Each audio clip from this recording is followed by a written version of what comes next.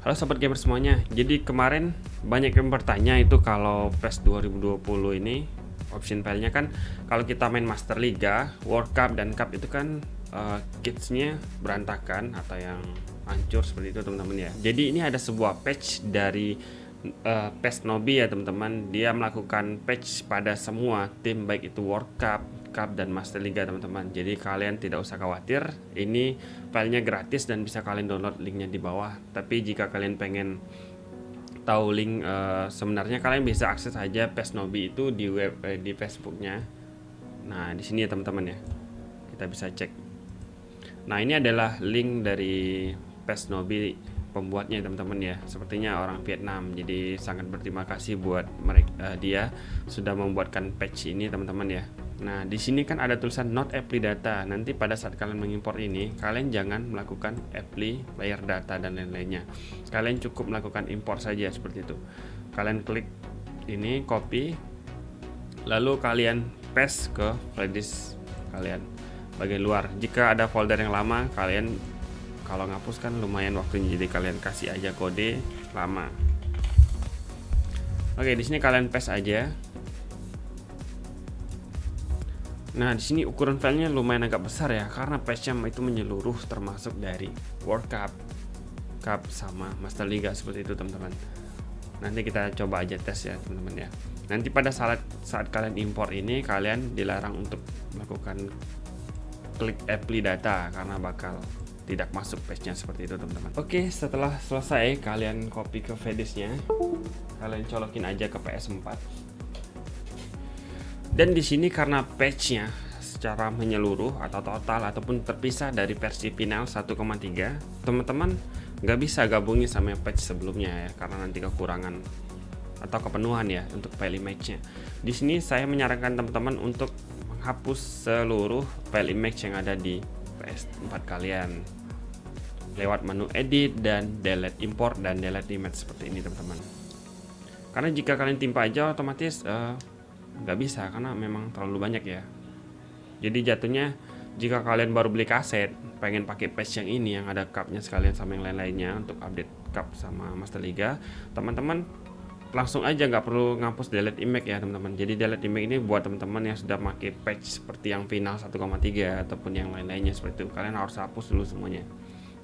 Cara menghapusnya itu sama seperti biasa. Di sini kalian pilih delete all image dan oke. okay tapi buat kalian teman-teman yang baru beli kaset kalian langsung aja nanti ke step yang import filenya. Jadi nggak usah uh, melakukan delete image jadi proses delete image ini kalian skip aja ya teman-teman. Khusus delete image-nya buat kalian yang sudah beli kaset. Karena kalau kalian baru beli kaset otomatis file image ini belum ada. Paling ada satu ya untuk yang tutorial itu. Jadi untuk video ini saya rasa teman-teman juga udah sering ya untuk melakukan delete image. Jadi delete semua image dari atas itu sampai bawah itu delete semua.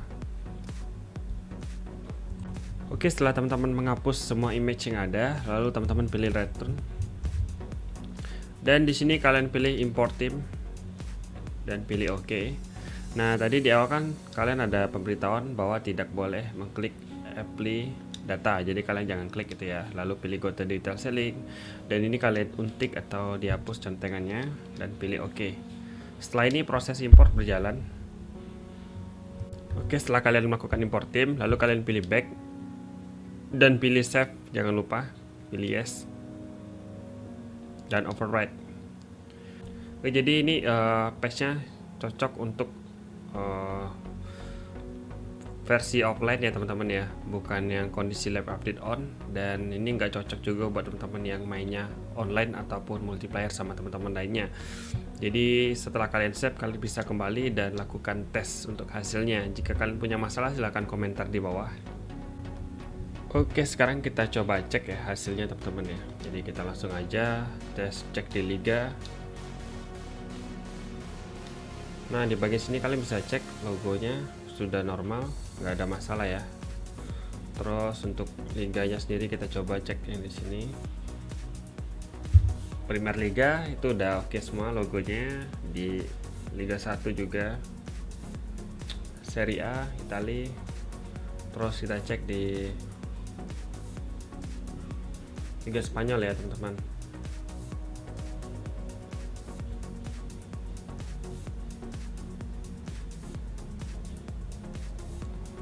Oke, terus di sini uh, di option file yang buatan PES Nobi ini ya teman-teman ya. Untuk uh, Bundesliga-nya itu belum ada yang untuk Master Liga-nya teman-teman ya.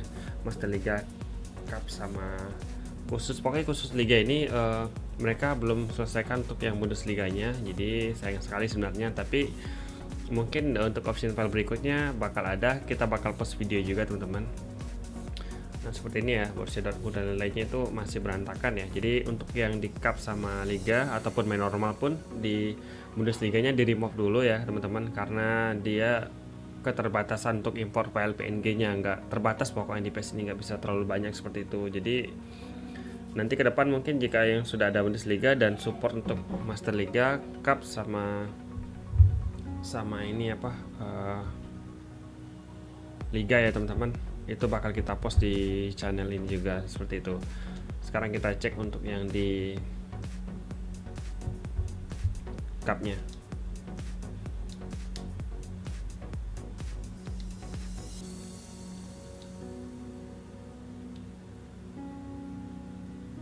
Oke di UEFA aja ya teman-teman. Nah di sini kita bisa cek juga logo dan tim-timnya itu sudah normal semua ya teman-teman. Sama seperti yang di lokal match Ini saja untuk Bundesliga-nya memang masih berantakan ya teman-teman, tapi sabar aja nanti kalau ada option file terbaru kita bakal post atau kalian bisa langsung aja ke Facebooknya Pesnobi seperti itu. Oke, uh, untuk yang Master Liganya kita coba play aja dulu sebentar.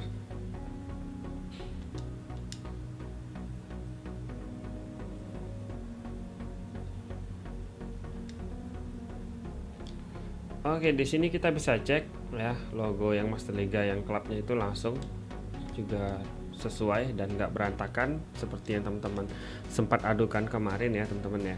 Tapi sayang sekali itu aja sih Bundesliga-nya. Tapi tetap aja nanti kalau ada yang terbaru kita bakal post seperti itu.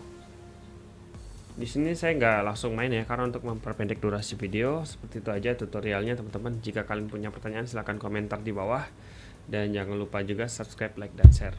Bye bye